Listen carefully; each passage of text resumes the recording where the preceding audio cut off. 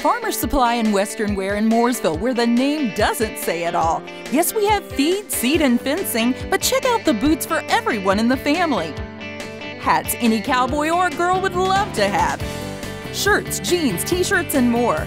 Farmer's Supply and Western Wear even has the horses covered. You won't believe it till you see it. Farmer's Supply and Western Wear in Mooresville.